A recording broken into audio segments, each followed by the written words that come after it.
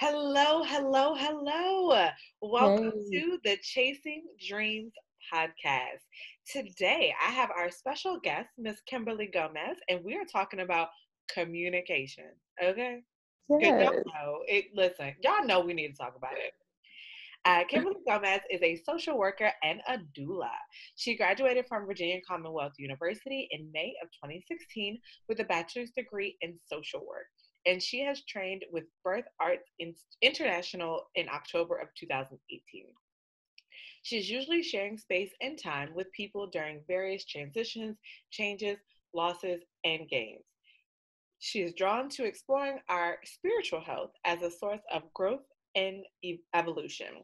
Her passion lies in supportive education and holding space to allow healing through intimate conversation, ceremony, and care. Welcome to the podcast, Kimberly. Thank you so much. Absolutely.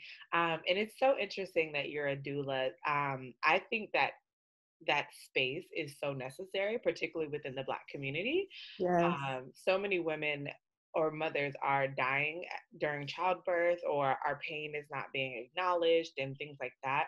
Um, and even with me personally, like I miscarried twins in 2016. So I know um, when I do prepare for children, I'm like, okay, I need a, a first of all, I need a black doctor. All of it. Okay. yeah. Um, but I have been also considering the possibility of a doula just because you need someone who's actually going like I don't want to have to fight. Exactly. To um, and the the in my situation, um, I, I had twins, and mm-hmm. one of the twins had been dead inside of me for six weeks. Mind you, I had two doctor's appointments since the time that they estimated the death. And, and they didn't went home with sonogram. Went home with sonograms and the whole kit and caboodle, every appointment. Wow. With allegedly pictures of both babies but it was just they didn't care enough. They knew it was twins, but didn't take the care of concern to look for both heartbeats. Um, And so then finding out on my birthday no. that my son had been dead for six weeks. And oh, by the way, the placenta stopped because of the first miscarriage, and now you have brain damage in the the remaining. Oh my gosh. Yeah. So definitely one of those things where like why and the only reason we eventually found out is because i had to fight for that advocacy um, mm-hmm. i was 23 weeks when i missed when i delivered them and mm-hmm. my birthday fell on the 20 week mark um, so I'm thinking like I'm halfway, we're good, all is well, you know, boom, bam, we're on a roll. Now I can breathe. You know what I mean? Like, cause you you always on pin. There's always a tense, yeah. There's like a tension piece. And yeah. then I'm like, okay, halfway point, I should be good, right? And I so at this yeah. point, I'm five months pregnant with twins, and not and barely showing. Like like if you didn't mm-hmm. if i didn't lift my shirt to show you you wouldn't see you would have had no idea. And so i'm in the doctor like this doesn't make sense like i'm eating i'm doing everything i'm not gaining weight like what what is going on? And they're like oh it's your first pregnancy. Oh you're naturally small. Oh it you know it, because it's your first pregnancy it's going to take a while for you to show and mm-hmm. you're so small as is and you know, all of like just everything dismissing my concerns because that was a concern I expressed at every appointment. Like, mm, like I'm not really growing. I should be a little bit bigger. Like, not that I wanted to be bigger, but it was just a concern. But it's your intuition too, right? And that's right. such a big part of being a doula is not only the we do definitely do the advocacy, but it's also like trust yourself, mm-hmm. you know. And in this experience, there's so many people around you telling you like no you're fine that's just your whatever it's like you said so dismissive so like mm-hmm. oh well maybe i'm just crazy or you know like it's just hormones right but it's like no when you have that person there to tell you like look your intuition is real yeah. like you deserve to be heard like i hear you i see your concern like mm-hmm. let's explore it right let's and it might be nothing and let's just explore it you never yeah. know yeah like had they taken that concern serious the first time maybe right. we would have known a lot sooner. And there was a surgery I could have had because basically what happened, they shared a placenta and the placenta had just stopped when the first mm. miscarriage happened. resulting in the brain damage. But there was a surgery that could have been done to transfer the placenta just to the one baby mm. to minimize that damage. Had we known this the first time, I said, mm, just negligence. It's honestly, like you know. Yeah, for sure for sure. But that's not what we're here to talk about. But I'm down to talk about, you know, because doula stuff too, it's so rooted in communication, but not yeah. necessarily verbal, right? And I think yeah. that's where things get missed because we're so our systems are just very used to you have to have this very certain kind of verbal communication or you're not respected, you're not heard, you're just dismissed unless you are very like you need to speak how they speak in their language and that's it, right? And that's not right. fair. We're so different. We have so many different needs and stuff.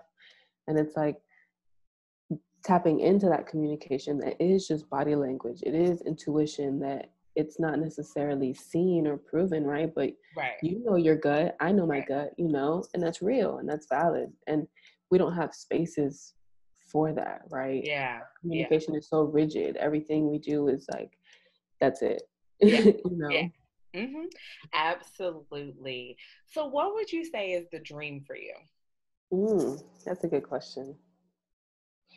I would love to be in some kind of space where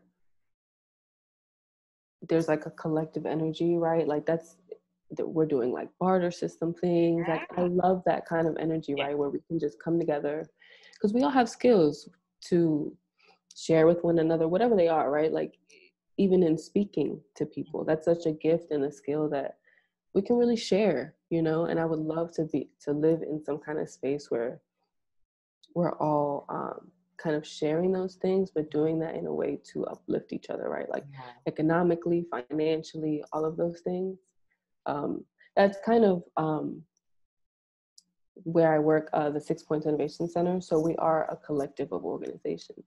And it's interesting to work in that way, especially serving young people, because we know there's so many different facets of what we need to do. Right. Um, so we're we're a collective of different organizations. Everybody has their piece of the pie, but we come together, right, to to serve one main thing, you know. Yeah. And I love that. To me, I feel like that's holistic. That's mm-hmm.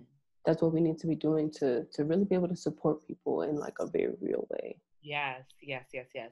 And I definitely agree. I think that's where a lot of other um, cultures really are able to get that that advantage because they oh. they work collectively mm-hmm. and um, i will say it's easy to say that the black community doesn't do that but we also have to look at the history like right. even thinking back to like black wall street like that's exactly what that was you have black right. teachers black doctors black lawyers like everything that you need in one central location and then they bombed it Exactly. You know what I mean? So exactly. while it's easy to say, well, we need to come together, it's like historically, every time we've tried. We do, we have, you know. Right. Every and even if you look before our history here in this country, our yeah. history elsewhere, so much so, you know, yeah, like for sure, for sure. And and that's and that's evident when you look at um, Caribbean Americans or um, Africans who grew up in Africa and then came to America, like they mm-hmm. have a whole mm-hmm. different perspective um, versus African Americans who, you know, have the history of slavery and Jim Crow and civil rights issues and, yeah. you know, all of the things. Um, but I say that to say, uh, when you see Caribbeans who or who are ch- uh, children of immigrants um, or Africans who are children of immigrants into the country, they don't they grow up thinking like, yeah, this is what you're supposed to do. Mm-hmm. And I think it really goes to speak to the American history side of it. Um, and we can't, as African Americans, be so critical of ourselves without understanding that history. It's funny you mentioned that because my my family's from the Caribbean. We're from the Dominican Republic, mm-hmm. and it's such a different. I was born here, right? So, like you're saying, I have such a dual experience, right? Because I exist here. Um, I mean, this is a whole nother conversation about blackness in the in the world, right? But I exist as a black woman, right? Yeah. My family, we speak Spanish also, and that's such a dual experience because and I say this all the time to my to my black American friends where it's like there are some things that we do our our identity and existence is is here, it's meshed, and then some things are just not, right? Because it's like you said, a very unique American experience. Yeah. You know, mm-hmm. where it's like the the upbringing, like I had that, right? But my parents and what they instilled with me was completely different, you know. The history, and of course we had slavery there too, right? So we have the remnants, but it's Yeah, it's it's just a whole different worldview. It got to America and just blew up. honestly. and then it's the way they teach it here and Yeah. of course they teach it everywhere it's not taught the way it needs to be taught right like everywhere is anti-black as hell you know but but there's this um, glamorization that is taught in American history, um, Mhm. and it's it's really whitewashed, and that's just there. There's no other way around it. I remember I have a, a younger sister who's we're ten years apart, Mm. and she was always academically, you know, a student, you know, all of the things, really good in school. And I remember her being shocked to find out that Egypt was in Africa. And it's not that she wasn't, she, Mhm. she actually enjoyed history class. But when you look at the history books, they try to push it as far up towards Europe as possible. as possible And then when you look at the pictures, the kings and queens are white and the slaves are Mhm. black.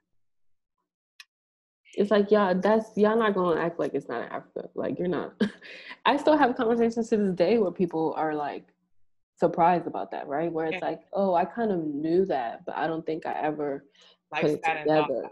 Exactly. And it, it's one of those things where like, okay, fine. Since we can't pretend like they're not wealthy, let's pretend like they're not Africa. you know what I Exactly. mean? It's like if They're not really in the middle of Africa, what would you do then? You know what I mean? Like, what now? well they're different because they're right in the middle so Exactly. But it's it, it's just really the reality that Mhm. um and then like just what they're choosing to portray um, and you even see it today with everything that's going on with the riots and the protests and things like that. Um, i literally saw a video of a white woman looting in a store and they were like um i mean maybe she's a maybe she's an employee there.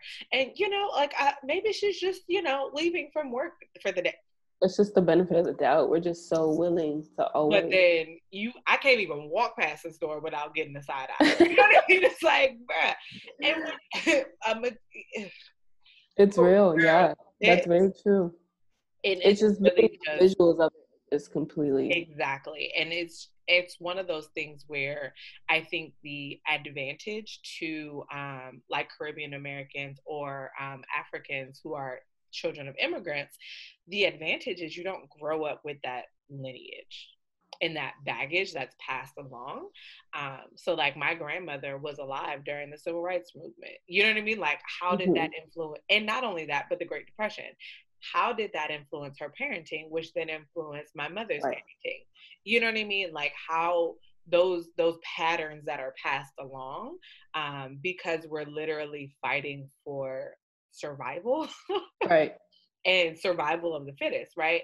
And so then that begins to be passed along. But when you're first generation American, you don't have anything being passed down. Um, well, not that you don't have anything being passed down, but you it's don't different. have that back that same level of baggage from generation to generation to generation to generation. Yeah, right. We have different generational stuff. Yeah. Yeah. So there's a whole nother set of baggage. But yeah, but you know the thing is, and it's so recent, right? And that's what we forget, right? Where Yeah. it's literally our grandparents. It's our grandparents, Yeah. which, like you said, influenced our parents, which influenced how they raised. It's Right. not some like boogeyman thousands. And they and that's part of the narrative too. Is like exactly. when you see pictures of Malcolm X and Martin Luther King and oh, they're all you know, faded. They look so old. Like, nah, bro, that was black and white. yeah, they want you to feel like it was so long ago. Like Bernie Sanders marched with King. Like Exactly. it's just, but you know what it is? It's that it's like all of our all of our leaders die. They all died. So Well- where they're always mortalized and murdered, murdered, honestly, Murdered. right? Murdered, assassinated, Yeah. taken out. You Yeah. know, strategically taken out. Correct. So we're always we always see them kind of in this place of like they're they died young, so we don't realize that they could have still been alive. Yeah. A lot of people could have still very well been alive to this day, leading us and moving us, right? But that's why they're not. Yeah, they're not because they chose to take a stand. Um, and it's really a fear tactic. So if I take out your leader, by default, you're going to question whether you That's should it. continue. For sure, for sure. So we talked about your dream a little bit. When did you realize your dream and how has it changed over the years for you?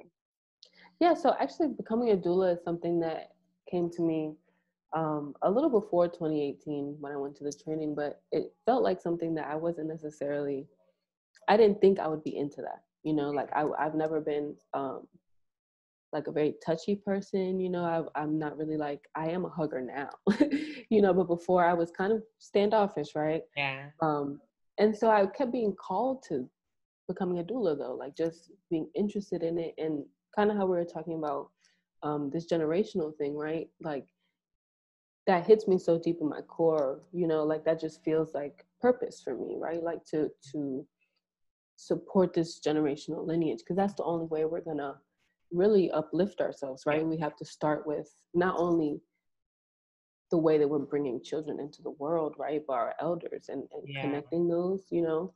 Yeah. Um, so yeah, it just kind of kept coming to me, and I was like, you know what, I'm just gonna do it. If it's coming to me, it must be for a reason, right? Yeah. And, and just through this, it's been such a like, you know, uh, eye opening of the things that scare you are probably what you're supposed to be called to do, right? Like they scare you for a reason, you know.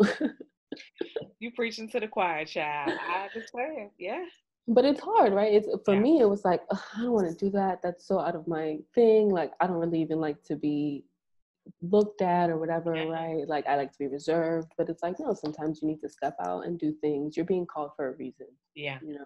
Yeah, and don't allow your personality right. sacrifice your purpose.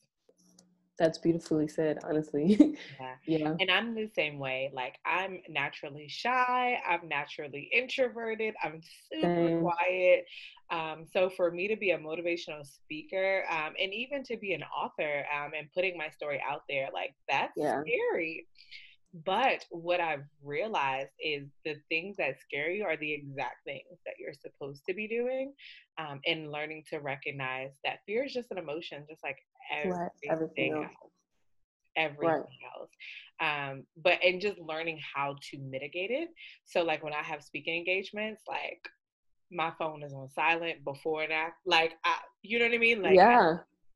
I'm aware of what my energy needs are. So I'm either, you know, spending time in silence or I'm listening to like it's usually Beyonce, you know, whatever I need. Um, and then afterwards I eat some fried chicken and I go to sleep. I take a nap. Like Yes, that's so but funny. That's so funny. that like me being and that's honestly how introverted I am. Like when I pour into people, like I'm exhausted afterwards like exhausted. But I can't let that stop my purpose. I still have to go out there and do it. I just have to know, like, if I happen to speak an engagement, I'm not doing nothing else the rest of the day. Like, nothing. My nothing. whole schedule is blocked for one day. the whole day is done. That's what I did for the day. That's what I did. Yeah. But sure. you know, and about communication, right? Like, I think that's something that kept coming to me too, thinking about communication. Boundaries are so important in, in how we communicate and what we communicate. I'm gonna just go ahead and pass the collection plate because listen, yes, ma'am, yes. oh, that's so funny. Yeah, but we have to, right? Because, like you said, we cannot. I can't do what I need to do if I don't set these boundaries, and not only setting them, but communicating them to ourselves and like, okay, it's okay for me to have these boundaries. I know it feels uncomfortable because we live in a society that praises not having boundaries. We praise being exhausted. We praise literally pouring yourself out until you have nothing else to give. And it's no, a badge of honor in our society. And I Yes. I don't want it. I don't want it. You can keep it. you can keep that prize, okay? um, and I I remember seeing a tweet and it was like, um, my boundaries were created to honor me, not to yes. offend you. And that's the thing. Like when people set boundaries, we have to stop taking it as a personal attack. It ain't about you. It's never about you. you it's right. about what I need in this exactly. Moment. Um, like I will never forget. I um like when I'm really stressed and overwhelmed, or even when I'm just busy, I'll put my phone on do not disturb. the message still comes through. I'll still see everything, but mm-hmm. I don't want to be distracted by just them popping up. Exactly. Yeah. Um, and then there are some people who are boundary adverse in my life, and they're like, "Well, they went straight to voicemail." Uh, okay. That mean I can't talk. right. Like, that means I'm unavailable. And as soon as I'm free, I'd be happy to return that phone call. Right. And it has nothing to do. I didn't know you were going to call at that moment. has nothing to do with you. Right. But it has everything to do with what I need in this moment. Mm-hmm. And what I need is to not be distracted by my phone right now. And you know, I feel like that's good. I have people like that too, where I've tried to set boundaries, and it's just like a very like oh type of reaction. How, how, dare you set a boundary? And to me, that's good information, right? Like you gave me good information to know about you, and usually it's that that person doesn't have boundaries, yeah. and yeah. we're reflecting something in them where they're like, oh, like that feels weird, that feels uncomfortable, yeah. so I'm just gonna react. Yeah, and what I've had to learn is like just because you don't have boundaries does not mean I'm not going to set them with you. Exactly. That's your choice. It's up to you whether you decide right. to have boundaries or not. I'm gonna be honest. However, as for me and my house, we have boundaries. 100%. And by my house, I mean me, but you know. but still, my house. Yes, my house. okay. Chat. You have to put, especially when you when what you do, and I think sometimes people don't understand if they're if they're not constantly um, doing work that pours into people, right? Like, and that's a different feeling, right? Because especially social worker doula, that's what I do, right? Like spending time, you really do pour yourself out. You yeah. you almost even like open a cavity in yourself, right? Yeah. To just allow, you know, and that's so much. That's labor. That's energy that's going through you, like you said. And if you don't, I've been there, right? Like when I first started being a social worker, when I first graduated, I dove head in. And girl, I started breaking out into hives out of stress. Like literally, my body was like, girl, you're taking on too much. Right. And I think a lot of us have these physical reactions, but it may be more subtle. And we just, whatever, like, oh, I've had a headache for like years, but whatever. Right. you know, it's like, that might be kind of stress. that's, that's, that's not okay. I don't, I don't think that that's how that's supposed to work. You know what I mean? Like, you had a grip in your neck for the last five years, baby, that's stress. That's stress. You need that's a massage. Stress. You need to take some days off, you know. But I felt so guilty, right? Because it's like, like you said, the it's about of honor. And then, you know, being a social worker, it's like there's so much to do, right? Like yeah. there's so much need that if you're not going to every meeting, you're not going to everything, every whatever, it's like, oh, well, you're not really doing everything you can. Yeah. And it's like, yeah. wow, well, what else can I do? You know? Yeah, exactly. And it's that pressure that like the world needs me. And it's like, I under I, I need fully me. recognize that the world needs me, but I promise you, my first two to three hours of my day are for me. Because the world is not gonna have me if I don't do that. Hello. okay. And that's so what does it mean to have healthy communication habits? Mm. So I think especially for healthy communication is just listening, right? Like knowing how to really listen. We don't know how okay. to do that either. okay. You know, we just know how to listen to respond. We know how to listen and like, oh well, I'm thinking this about what they're saying, you know, but truly, yeah. and it's almost, it's almost as if we're listening for that pause, right? right? It's like, okay, this is what I'm about to say. And as soon as, soon as you start, boom. And it's like that had nothing to do with us. even do it. So you're, I know you're not even paying attention to me. You're just in your head, and you're just gonna project out yeah. whatever's in there. Yeah, and I've mm-hmm. actually had to catch my best friend on that. Um, and we'll be having a conversation, and he'll say something completely like, like slightly related, but like, and I'm, I'm like, you realize that has nothing to do with what we're talking about, right? like at least like, say, hey, I'm about to say something unrelated, right? Like at least tell at least me. Acknowledge. No, exactly. At least acknowledge that we're making a pivot, but you say in re- like what what I think is in response to what I just said. And it's but just really it's just you waited for a break in the conversation to say whatever you was gonna say anyway. Anyways. And honestly, I see this a lot with right with the youth where I think people see young people in general, right? Like I don't even think just this generation. I think this is just how young people are always seen as just angsty, right? Like angsty, angry. But really it's just that they just want to be heard. And there's so yeah. many people around them that especially because they're young, it's just like, oh well you don't really know what you're talking about. Or, you know, just not listening to what they're really saying and then be confused about why they're angsty and angry, you know?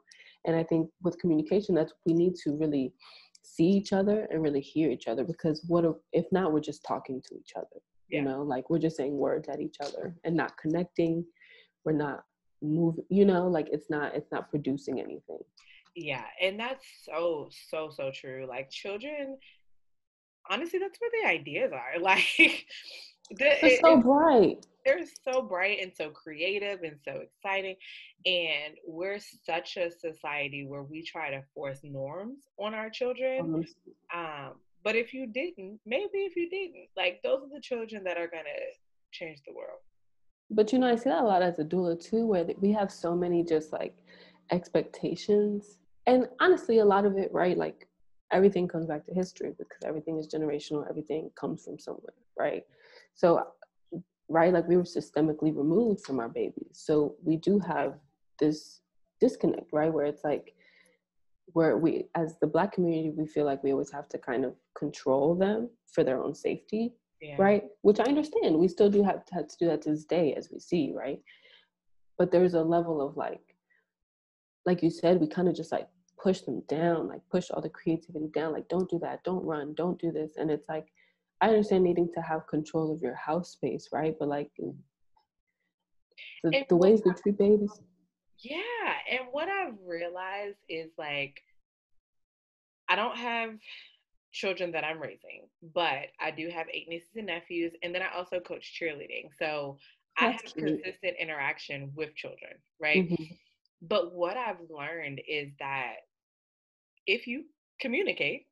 Aha. Exactly. Um, and even when it's a safety concern, like really taking the moment to say, I don't want you to do this because this is what because, Exactly. Not, not just, don't do because that. Because I said so.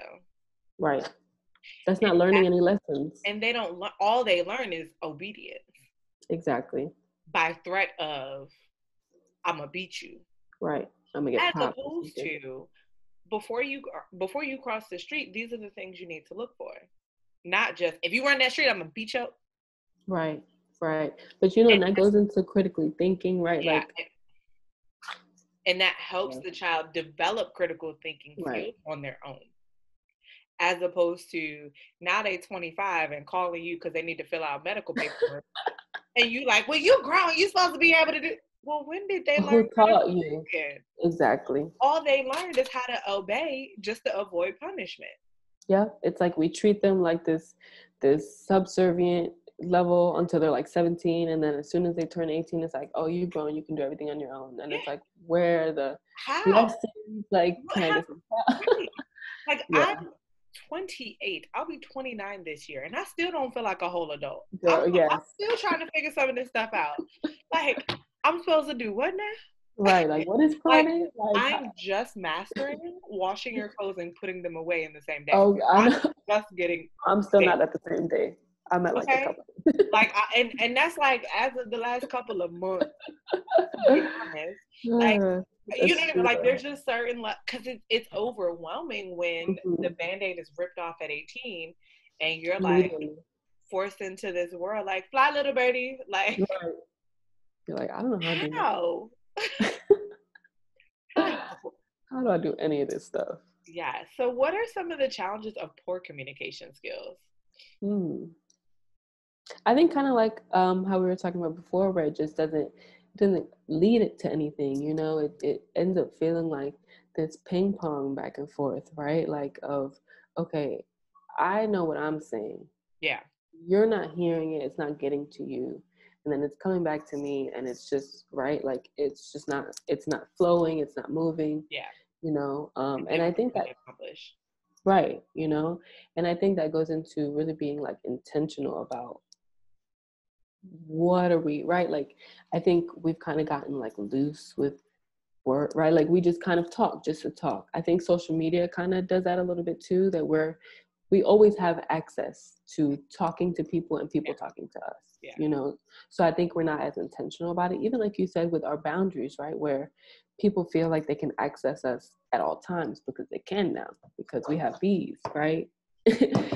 Back in the day you couldn't holler at me unless i was at the house you know? Okay. and then unless i could just unplug the phone and still go about my day. You know that's it. no idea where i am. Where nowadays um, I think I am I'm pro technology, so I'm not going to sit here and sure. say technology has not been good for us. But I think one of the downfalls of technology developing is the reality that there's almost too much access. Too much. I agree. Yeah.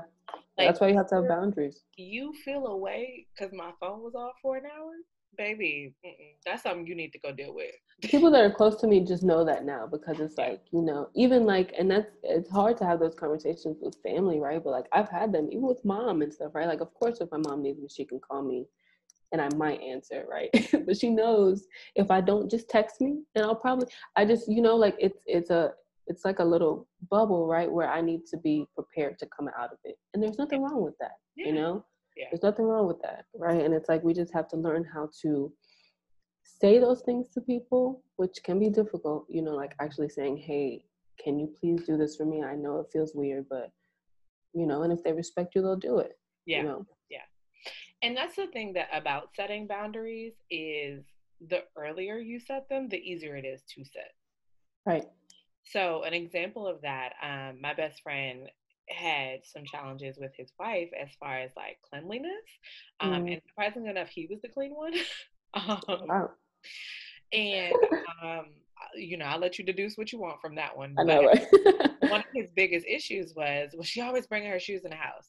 And I'm like, well, when did you verbally communicate? Please take your shoes off.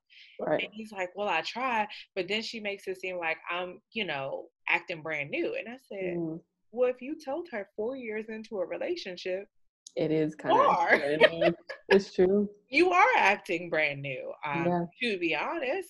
And I, you know, I gave him the example. Um, I had visited somebody, and this was the first time I was in their house. Mm-hmm. And the second I walked in the door, he's like, "You can take your shoes off." Cool, no problem. And I just need to know that's a rule. Right. And every time I walked in after that, like I naturally went and took off my shoes. And I think there was one time I forgot, and he's like, um, your shoes.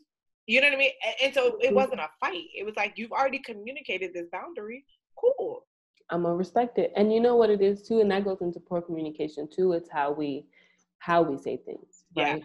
Yeah. Which I struggle with sometimes, right? Because sometimes things come out very like and then it's like, okay, I can't expect people I have said to, that better. Right? Because I know if somebody snapped at me, I'm a snap, right? So right. it's like, how can I communicate something? And that's about communicating when we're not necessarily in the heat of the moment, you yeah. know, like maybe being like, okay, I need to address this. If I address it now, I know it's going to be filled with my emotion, yeah. right? Which isn't necessarily a bad thing, but it shouldn't be projected, you know, yeah. like how can I communicate this in a way that's not accusatory? I'm not like blaming, I'm not being mean spirited. I'm just saying, hey, I wanted this. You did this. Can you please do this in the future? Right? And that's all it has to be. Yeah, and communicating in a way where they actually hear you. Um, because a lot of times when you snap at people, you're triggering their fight or flight response. Right. And you're gonna get one of the two. One of the two.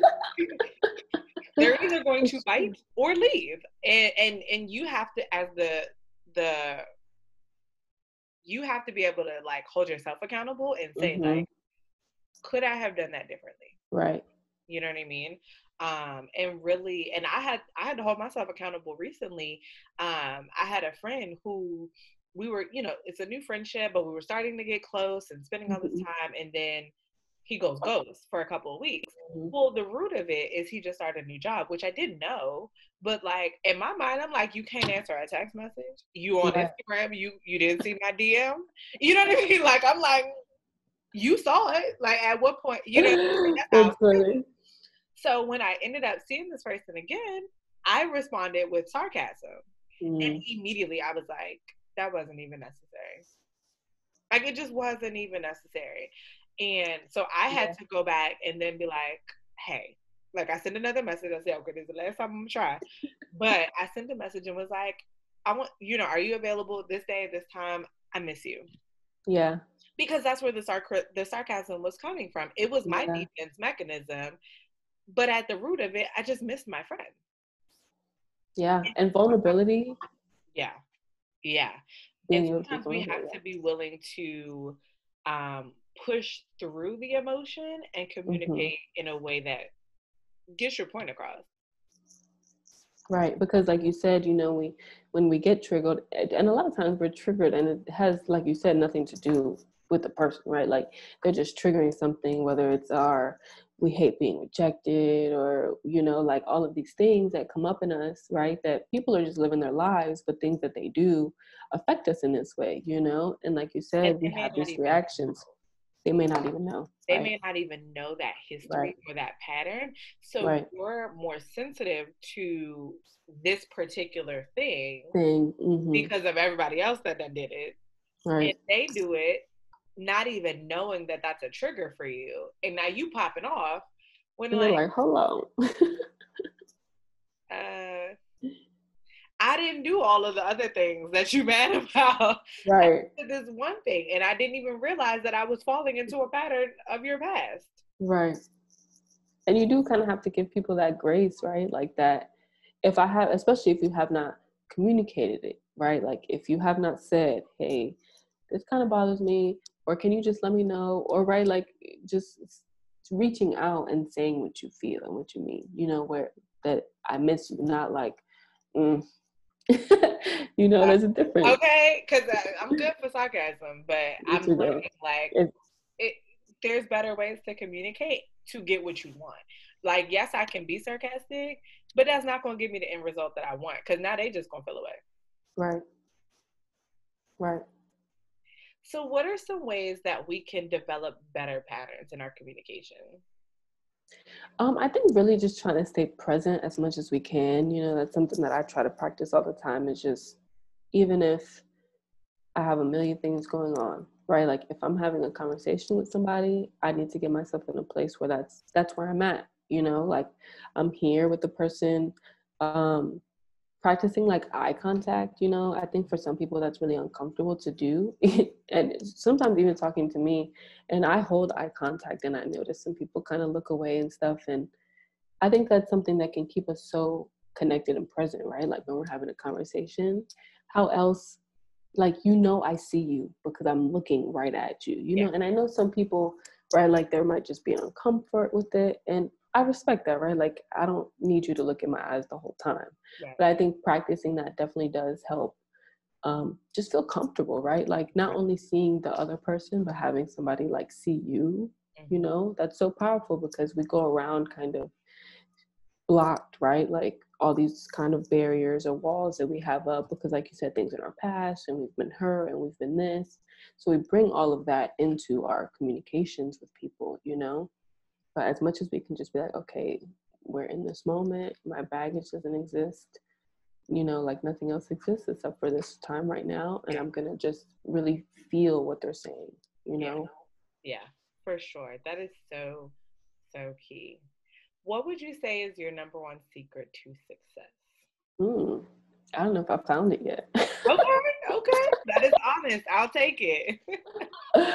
yes, I think something that does definitely help me though, just always have the um, motivation to keep going. Right? Is is this energetic? And when I say spirit, I mean mostly just like purpose, right? Like whatever that means to an individual. I know it, it can be have its own baggage, right? Like that word spirit for for good reasons, you know. Um, but I really feel like connecting to whatever is our purpose here whatever whatever makes us feel meaningful whatever makes us feel important and and like we deserve to be on this world doing what we love we really need to connect to that source you know? Because that's what drives us right? Like for some people it's ancestors mm-hmm. for some people it's prayer you know? All of these things they center us right? Like they remind us that we're here we've been here like generationally and we have so much farther to go right so we need to find a way to like ground ourselves and root ourselves in this moment yeah. but use the strength of everything else around us you know like there's been strife before So how can we use that, right? Like to support us. Yeah. Yeah. Um, that is so key. And I think one phrase I would love to retire is I'm not my ancestors as like a slant.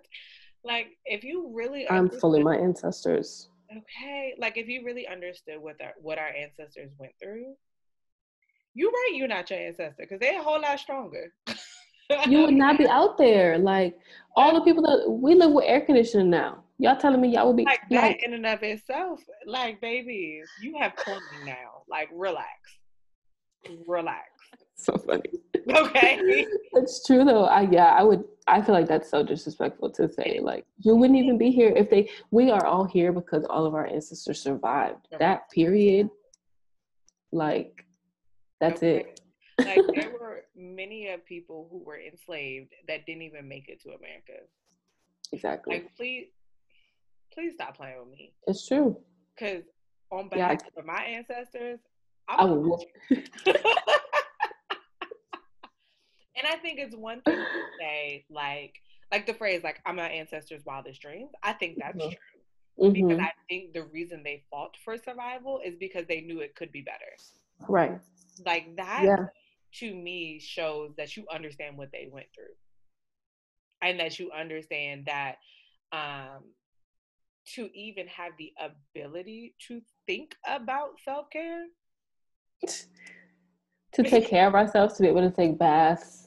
You know what and, I mean? You know, yes, light candles and like yes, yes that is a sure. dream that our ancestors fought for. Absolutely. Right. But right. to say like, oh, I'm not my ancestors, you know I, I, could never but to, to me all that says is that you just don't have a connection with your ancestors you know because no matter what your ancestors did and this is something too right where i feel like all people right like even even white folks european folks like everybody kind of needs to attach to ancestors so that we can as much as we generate um, generational trauma we need to transmute generational healing right like we need to go back and heal but we all need to revisit our ancestry. Like, I, why would you? Have, you are your ancestors. It doesn't matter what they did or they didn't do. You are them, right? Like, and and that's where the healing comes from because nobody in our families is perfect, right? Like, were there ancestors that maybe probably should have done more or maybe were some kind of asshole or something yeah. right? Like there's there's ancestry isn't supposed to be perfect right. right? Like they're people. Yeah. and we learn from everything that they did good right wrong indifferent you know? And that's where that healing comes from because whatever lessons was theirs are still ours and we need to heal them you know to keep going absolutely and even if you disagree with what they did um, you still have to have respect and reverence for the fight that they were fighting because in that moment right. that, that was their that's what that they thought was what was necessary right. for example um, like the separate but equal fight right? I believe we should have been fighting for equal. Mm-hmm. you can keep us separate, but let's yeah. make sure we got equal funding and you know all of the things because I think integration was, and of course this is hindsight, right? Mm-hmm. But I think integration was not really beneficial for our community because then we started fighting for a seat at their table, right? And completely forgot about the importance of having our own. Our own. I agree. So, but again, that's hindsight 2020. Like they right. for what they thought was what they thought exactly. Exactly. I, I, still, even though I disagree, like I'm disagreeing after seeing the results. Exactly. And not in the moment of, right? Like they have been kept separate for so long that, of course, right? Like that's, like you said, you can't take things out of the moment that they existed, you know? And I think like all of these people saying that they're looking, like you said, with our eyes mm-hmm. in that moment. Like, oh, I would have, or I should. You wouldn't have done none of that. Would have did. You don't know what you would have did exactly. The reality is the same thing you're doing now is the same thing you would have been doing. Right. So and always be the loudest people that don't be doing nothing. okay. Child. I know that's a whole nother conversation okay. though well, what final thoughts do you have for us as an audience? Hmm, I just really um, want to thank you for this conversation. It was oh, thank you. Lovely. yes, and I think just the idea of really chasing dreams. I'm I'm happy that you are um, pursuing that, right? Because I think I really do think dreams is where we make things happen you know if we don't allow ourselves because if we you know like as a social worker that's what i see with a lot of folks when when they kind of reach that that like low place in their lives it's because dreams have been completely taken away from them right? It's like not only can you not dream for like a, a really good life you you're not even able to dream of like a regular stable life. Yeah. Especially if you've been in so much trauma so much you know and and when you're not able to picture yourself in that moment anymore you can't reach it. You have nothing to like look forward to you it, it's it's hard to attach to it you know? Um so yeah i just love that idea of you know we really do need to to support our dreams and whatever that means like and i'm always talking to youth like think of the craziest thing you can think of. We might not be able to do the craziest thing right? But let's see what logical steps we can make right? Because things are possible. And once we can once we believe that we can make these things possible that's it right? Like and that's and that's really where that kind of like opening comes from you mm-hmm. know? If if we stop to like oh i can't do that. I'll never be able to do that. I'll never reach that place you know? It's like why? Yeah. Why not? Yeah. And that's what i work with a lot of my coaching clients with is like let's start with the big picture but let's break it down into actionable steps. Like if that's the dream cool now let's figure out how to get there right but it's not going to be from step a to step z there's a whole bunch of steps that mm-hmm. go in between. But each day you could be working just to move a little bit closer. Right. A little bit closer. Right. Every single day. And even if it's small stuff like reading yeah. something about what you're interested in, informing yourself, or you know, practicing something, you know, and I think that's something too. We, um, I know it happens to me sometimes. That's why I have to stay off social media because it's like all we see is other people's lives, other yeah. people's dreams manifesting. Yeah. So we kind of it kind of clouds us, right? It's kind of like, oh, I would love to do that. I would love to do that. Why am not? Why am I not there yet? Why? but we don't see anything else. We don't know this don't person.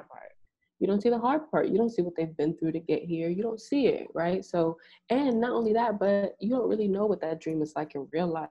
You don't know if that's really your dream, you know? Yeah. Absolutely. And just recognizing that social media is the highlight reel. Right. People ain't putting their failures on Instagram. right. Okay. Right. So, and failure is so much part of it. If you don't fail, you know, like you're you not really learn. learn exactly. Exactly. For sure. So, where can people find you if they want to learn more about what you have going on? Let us know. Yeah, so you can follow me on IG. It's Kimizm. Um, that's K I M I Z M, and there's an underscore at the bottom. Love it, love it, love it. Well, thank you so much for being thank part you. of the podcast. This was a great conversation. I had such a good time. Yes, thank you, thank you. And we'll see you next week, guys.